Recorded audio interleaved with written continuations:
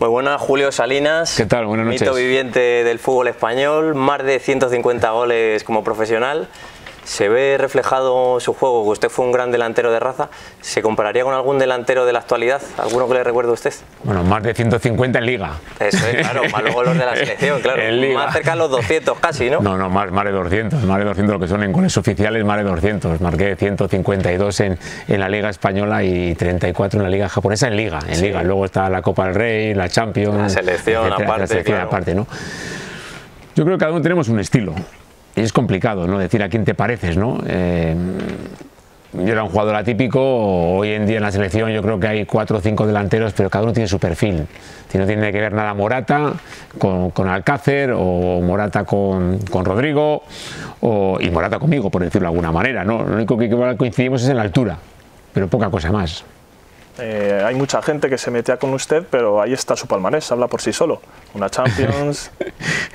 a ver, pero hoy en día con quién no te metes, ¿no? Yo he visto criticar hasta Messi. Es hace tres años a Messi ya le decían que, había que vender lo que estaba acabado. Decir, aquí, aquí, mira, eh, estamos en un país, estamos en un país en el que a los grandes eh, artistas o a los grandes campeones los destrozamos rápidos rápido. Es decir, ¿por qué nos acordamos de Arconada? Por aquel gol, de igual son muy jóvenes, pero aquella, aquel gol que se escapó, aquella falta en, la Eurocopa. A Carlos Sainz, que ha ganado un montón de mundiales, pues siempre estamos diciendo que si, se le queda tirado el coche, etcétera. Parece, parece, que siempre ponemos pegas a Nadal, que si está acabado, que si se, Es decir, siempre a los grandes. Eh, a los mejores parece que estamos deseando que, que, nos aburrimos de verles ganar, ¿no? En cambio, cuando son extranjeros, joder, parece que les alabamos un montón, ¿no? Entonces, eh, en este país criticamos todo y, luego al revés, a la gente que empieza la elogiamos de tal manera que parece que cada vez que hay un chavalín que sale va a ser mejor que Messi. Es decir, no ha hecho nada, primero tendrá que demostrar, tendrá que jugar, ¿no? Entonces tendremos las dos vertientes, ¿no? Por un lado, cuando sales parece que,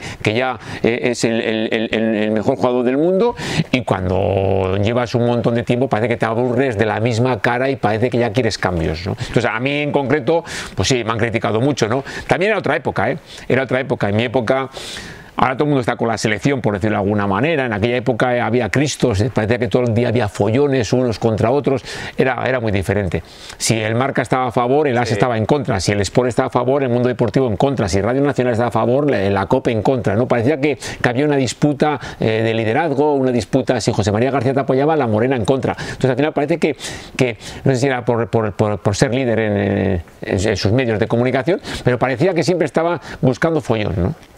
Diría que es su etapa más feliz como futbolista, después de que tuvo un grandísimo palmarés en el Barça, obviamente, pero es que en el Athletic es que fue una época muy especial porque ganaron, eh, creo que fueron dos ligas y una Copa del Rey, que es que eso posiblemente no se vuelva a repetir. ¿Cree que fue su época más feliz como futbolista?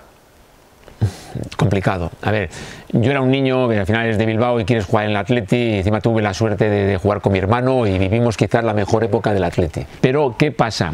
Luego me tuve que marchar. Eh, dices, ostras, fueron emocionante porque eran 27 años que no ganábamos eh, eh, un título, la Gabarra fue el no va más. Eh, ¿Qué pasa? Que también yo siempre digo que es diferente disfrutar las cosas cuando tú juegas y eres titular a cuando no lo eres.